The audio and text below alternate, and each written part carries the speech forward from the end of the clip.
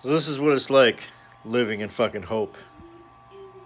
It's kind of like living in the mountains, but you're not really in the mountains, you're between the mountains, living in a house.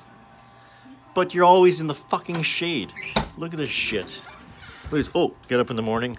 Oh, it's so cold and so, you know, oh, the sun's not out. It's miserable.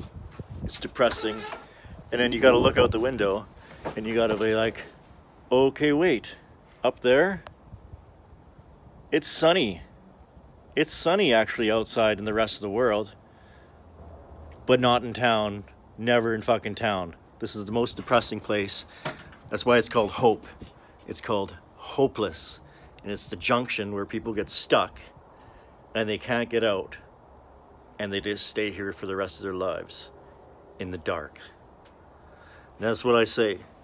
I say take off your skinny fucking jeans, put down your laptop, and get up there in the fucking mountains. Right there where the sun's at.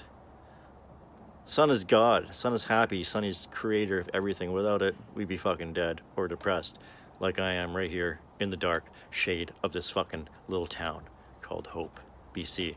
Now I'm Sonny Woods. This is Two Stroke Smoke TV. And remember, if you don't got one, get one and smoke a fucking doob.